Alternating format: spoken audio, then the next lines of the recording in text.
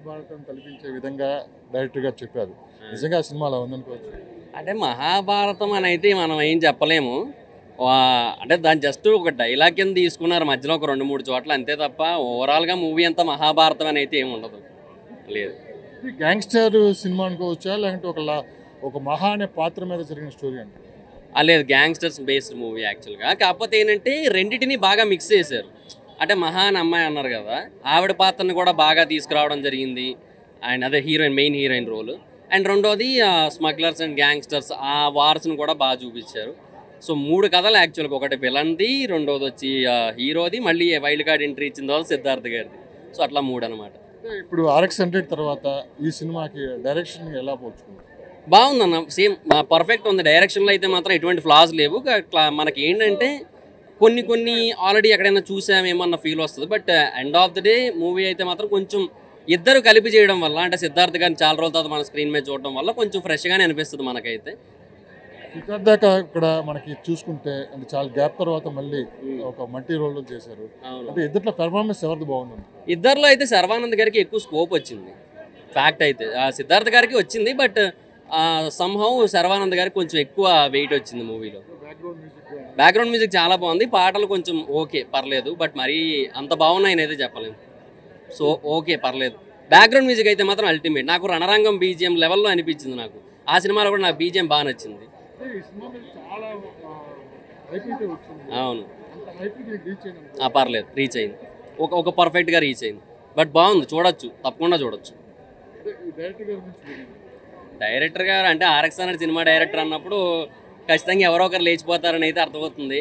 So అంటే okay ఆయన direction skills అయితే బాగున్నాయి కానీ ఎండ్ ఆఫ్ ది డే చిన్న డిలే అనిపించింది క్లైమాక్స్లో అంటే లాస్ట్ సీన్ సీక్వెన్స్లో సిద్ధార్థ్ గారు ఇన్నాళ్ళు మిస్ అయిన యాక్టింగ్ అంతా ఆ సీన్స్లో పెట్టేశారేమో అనిపించింది. రావు రమేష్. రావు రమేష్ గురించి మాట్లాడుకుంటే ప్రతి సినిమాలో తన దాని పెర్ఫార్మెన్స్ చూపిస్తూనే ఉంటాడు. కానీ మహాసముద్రంలో తనకంటూ ఒక ప్రత్యేక పాత్ర అదే ఇలా పెట్టారు కదా ఇది కొంచెం మ్యానరిజం బాగుంది. ఆయన డిక్షన్ మధ్యలో ఎటకారపు నవ్వులు ఇవన్నీ కూడా బాగున్నాయి. ఓ, అంటే ఆయన కూడా ఒక స్పెషల్ ఇంపార్టెంట్ రోల్ అనే చెప్పుకోవాలి ఇది. త్రీ పాయింట్ ఫైవ్ ఫైవ్కి బట్ చూడొచ్చు డెఫినెట్గా వన్ టైం వాచబుల్ యా బాగానే ఉంది. కాకపోతే కొంచెం లాగ్ అనిపించింది. అంటే ఫస్ట్ హాఫ్లో కొంచెం లాగ్ అనిపించింది. అదే. బాగుంది. ఆహా లేదు లేదు. అది డిఫరెంట్ ఇది డిఫరెంట్ ఉంది. శర్వాద్ బాగుంది. లైక్ కాకపోతే సిద్ధార్థ్ క్యారెక్టర్ అంటే లుక్ చాలా బాగుంది ఈ సినిమాలో.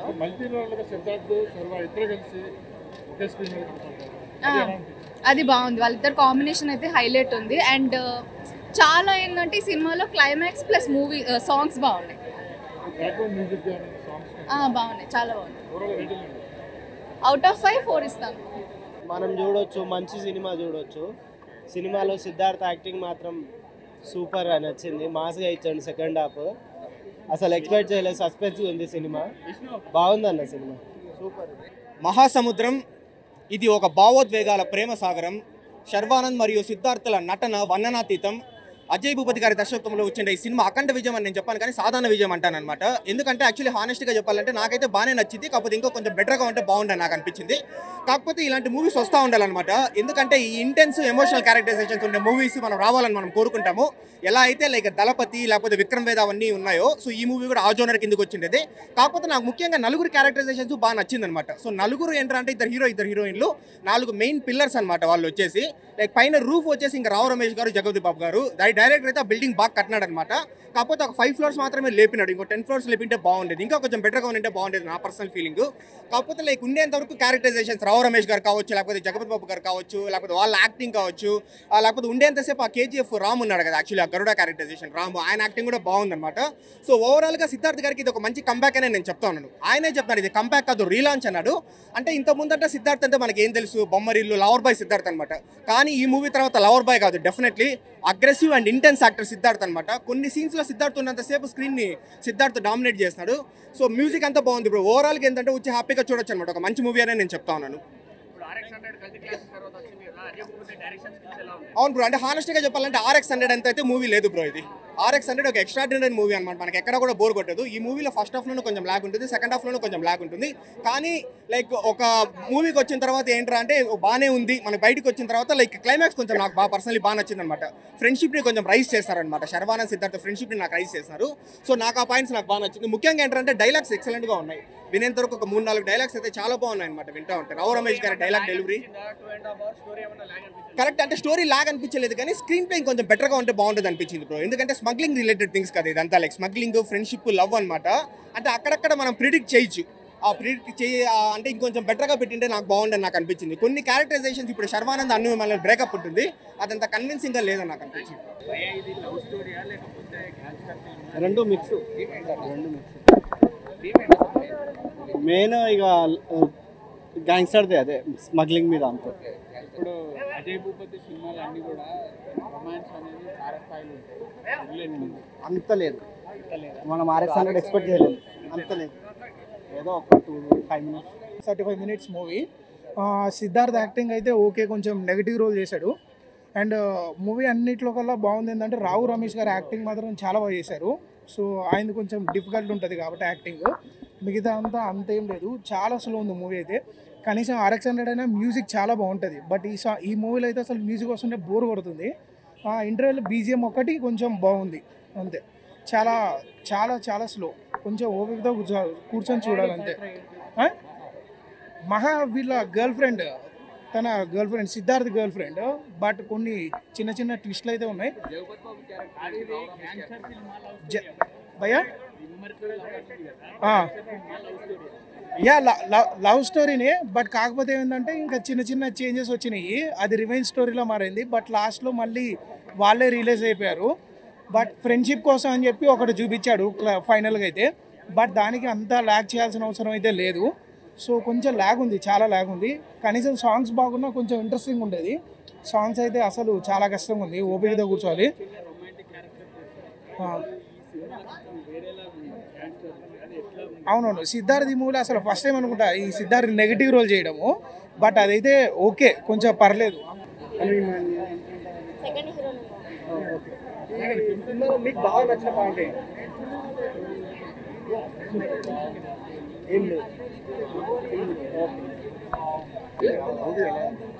చూడొచ్చు ఒకసారి చూడొచ్చు మహాపాత్ర అయితే శర్వానంద్ ఎలా చేశారు?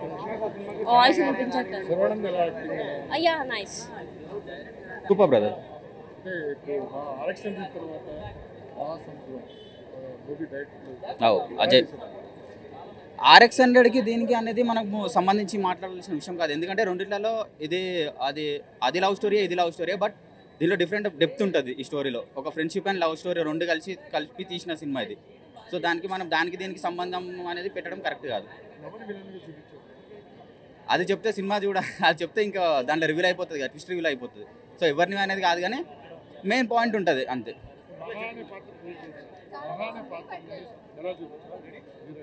మహా అనే పాత్ర చాలా డెప్త్ ఉంటుంది. సో చాలా డెప్త్ ఉండడం వల్ల మనకి ఏంటంటే ఫ్రెండ్షిప్ లవ్ రెండు ఒక లెవెల్ ఒక లెవెల్లో తీసుకెళ్ళారు అది లేదు లేదు అసలుకి నేను ఆర్ఎక్స్ హండ్రెడ్ అనేది మైండ్లో నుంచి తీసేసాను.